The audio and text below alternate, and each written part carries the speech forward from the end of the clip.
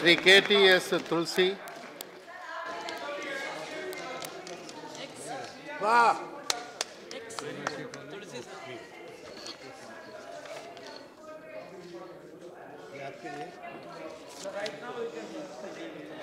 Yes, please. Very well. Thank you, sir.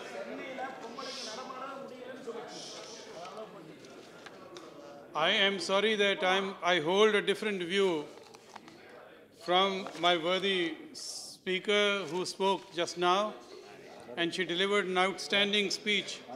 But I rise to support this bill.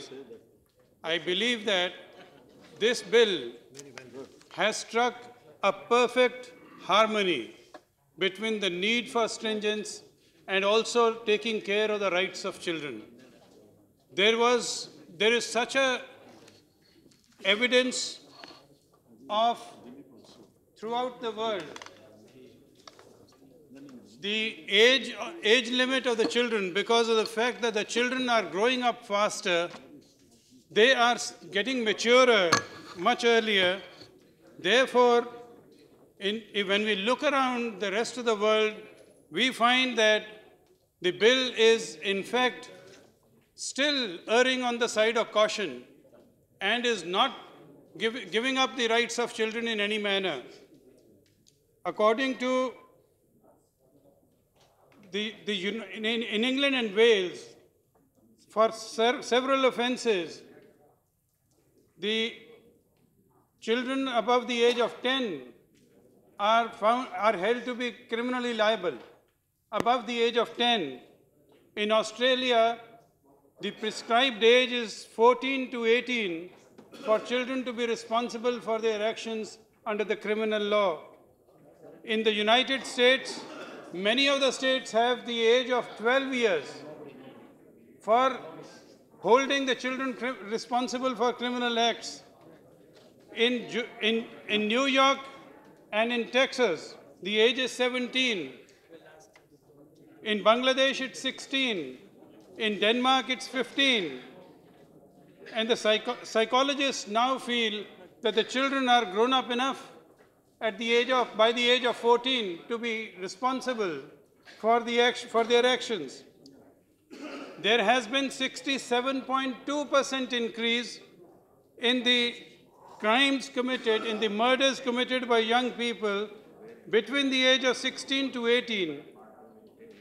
And thi- this is in the last 10 years, after we adopted this law in 2000, there has been a sudden spurt in the, in the, in the crimes that are committed by children or the murders which are committed by children between the age of 16 to 18. There has been a 30, 30.8% increase in, in these cases in just one year. In fact, there has been 49.8% increase in the cases of rape committed by people between the age of 16 to 18. And in just one year, 2010 to 2011, there has been an increase, a sudden jump of 34% of these. So therefore, I, I commend the minister for having crafted a legislation which takes care of the rights of the children and at the same time ensures that they are they are held liable for their criminal acts. And this she has been able to achieve without amending the definition of a child. The definition of the child remains the 18 years of age. The definition, the definition of a child in conflict with law remains 18 years. That has not been changed. The, the definition of heinous offenses are those which are punishable with seven years or more and are prescribed as offenses under the penal code. The definition of a juvenile in clause 35 of, of, of clause 2, subclause 35, is also 18 years. So I don't understand why are we willing to state that the rights of children are being are going to be sacrificed. I would like to refer to the provisions in section, in, in clause 15, where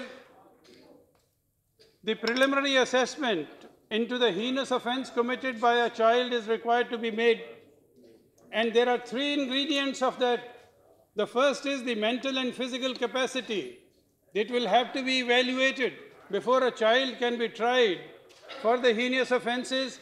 And even the children's board has been given the powers of the sessions court. And, and they will, they will then try him.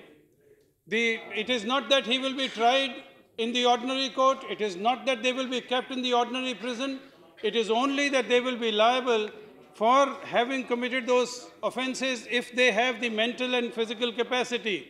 The second ingredient is that they must understand, they must be found to have, under, have the mental and physical capacity to understand the consequences of their actions. And the third factor which has to be taken into account is that the circumstances in which he has allegedly committed the offense. So therefore, it is, it is on the basis of the reports of the psychologists and the psychosocial workers that this assessment will be made. This assessment is only a preliminary assessment, not itself a trial. The trial will follow thereafter. So I believe Clause 21 also states that they will not, they will not be sentenced to death or life. So therefore, it is only those, those offenses which are punishable with seven years or up to 10 years because life imprisonment cannot be awarded, death sentence cannot be awarded. This is a perfect legislation and will meet the expectation of the society. Thank you. Thank, thank you, Mr. Tulsi. Sir हमारी request है कि पाँच बजे तक जो discussion है उसको complete कर लिया जाए उसके बाद ऑनरेबल मिनिस्टर का रिप्लाई हो जाए और उसके बाद जी?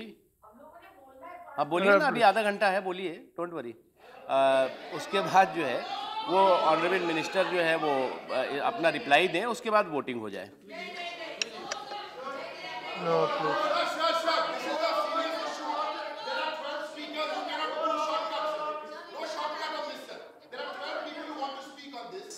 There are 12 people who want to speak on this, sir. Please allow everybody a chance to speak.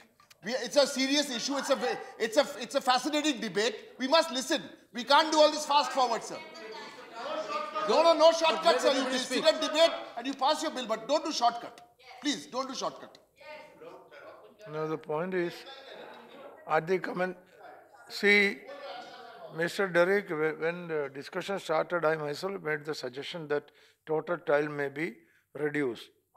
But then, no, at that time I made the suggestion, then it was not agreed to, now I don't know what to do now. Now